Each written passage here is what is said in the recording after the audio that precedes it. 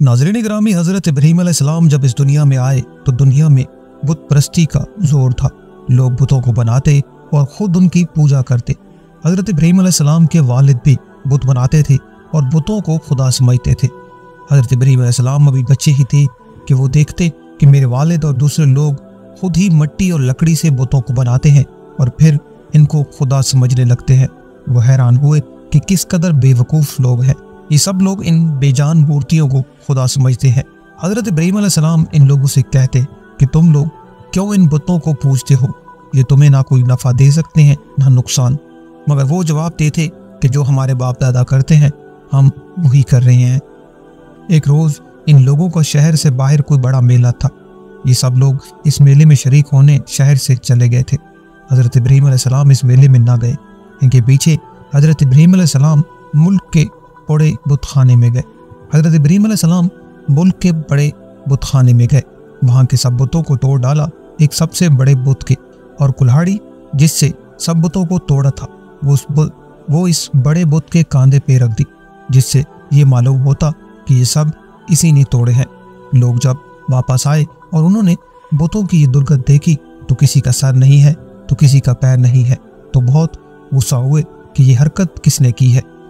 सबने शुबा हज़रत इब्राहिम इस्लाम पर किया कि वही बुतों को बुरा कहते हैं और मेले में भी नहीं गए थे। आखिर इनको बुलाकर पूछा कि ये बुत किसने तोड़े हैं? हज़रत इब्राहिम सलाम ने जवाब दिया कि मुझसे पूछने के बजाय अपने खुदाओं से क्यों नहीं पूछते जिनकी तुम इबादत करते हो? इनको किसने तोड़ा है, वो खुद बता देंगे। इन लोगों ने जवाब दिया कि आपको मालूम है, ये बोल नहीं सकते। हज़रत इब्राहिम ने कहा, फिर तुम ऐसे बेकार खुदाओं की पूजा करते हो हज़रत इब्राहिम सलाम ने फिर कहा, देखो, कुल्हाड़ी बड़े बुत के कांधे पर रखी है। ये काम इसी का मालूम होता है। इससे पूछो, ये लोग बहुत नाराज़ हुए और उनके बाप आजर से शिकायत की कि तुम्हारा बेटा ऐसी हरकत कर रहा है, इसको समझा लो, वरना अच्छा ना होगा। हज़रत इब्राहिम ने अपने बाप को भी समझाया और बुत परस्ती से मना किया और अर्ज़ किया कि आए बाप, मैं डरता हूँ कि तुम पर खुदा का कोई अजाब नाजिल ना हो। इस पर इनके बाप बहुत सख्त नाराज़ हुए और कहा कि, आयदा, तूने मुझसे कोई ऐसी बात की तो मैं तुझे संसार कर दूँगा। और कहा कि, तू मेरे पास से हमेशा के लिए चला जा। आपने बाप को सलाम किया और कहा कि, मैं चला जाता हूँ। फिर क्या हुआ कि वहाँ के बादशाह नमरूद को, जो बहुत जालिम और बुत प्रस्त इंसान था, इन सब बातों का पता चला कि आजिर का बेटा इब्राहिम लोगों को पुतों की पूजा से मना करता है और एक खुदा की दावत देता है। तो उसने अपने दरबार में बुलाया और आपसे झगड़ने लगा। हज़रत इब्राहिम सलाम ने फरमाया कि मेरा खुदा तो वही है जो मारता भी है और जलाता भी है। नमरूद ने कहा, मैं मार भी सकता हूँ और जला भी सकता हूँ। चुनाचा चुनाचा इसने एक कैदी एक कैदी को, जिसको सजाए मौत का हुक्म हो चुका था, आज़ाद कर दिए और एक बेगनाह को पकड़कर कत्ल करा दिया और कहा कि अब बताओ, मेरे और तुम्हारे खुदा के दरमियान क्या फ़र्क है? हज़रत इब्राहीम ने कहा मेरा रब हर रोज़ सूरज मशरक से निकालता है, तुम इसे मगरब से निकाल दो। इस पर नमरूद लाजवाब हो गया और हुक्म दिया कि हज़रत इब्राहीम को ज़िंदा जला दिया जाए।